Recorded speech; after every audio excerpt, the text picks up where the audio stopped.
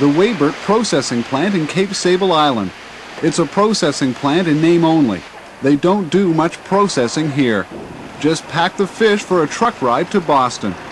Three million pounds goes to the States from here every year. And that's the way the owner likes it. Because we're living the way we want to live. We've been living free. No unions, shipping the fish to the United States, and the returns comes back in seven days, and we pay the fishermen a good price. They can only continue to do that as long as they're allowed to destroy an industry. The CAW wants trucking stopped. Hundreds of its unionized workers have been thrown out of work because there wasn't enough fish to keep the big national sea plants going. When there's not enough for who's left, don't take any of it away. So the CAW and National Sea are together lobbying the province to keep unprocessed fish from crossing the border. That's a direct attack on independent processors. And it annoys Cecil Weybert, who happens to be president of the Independence Association. They should leave us alone. If they got to fight with National, they should take it up with National. We don't need nobody from Oshawa coming down here and telling us how to run our fisheries. We can do it ourselves. We did it for 100 years, and we still can do it. And they're doing a pretty good job. Other areas of the fishery may be suffering, but not those who truck whole fish to the United States. They've never had it so good. The Americans can't find fish, so they turn to the independents. The price is high.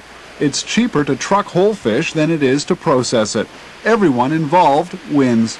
Our fishermen is living rich, would I think you would call it rich. They all got cars, satellites, new fiberglass boats. They go duck hunting, deer hunting.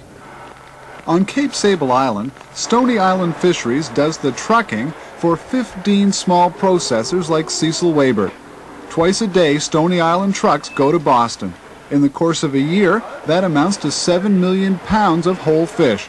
Year-round work for 50 people and a million dollars in salaries pumped into the local economy.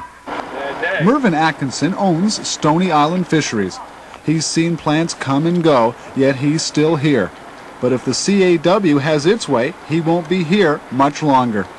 I was speaking to my employees yesterday about it, what effect it would have on them, that, you know, we just wouldn't be, be operating this.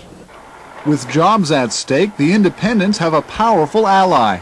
There are thousands of fishermen involved here uh, who are entitled to get the best competitive price they can for their fish.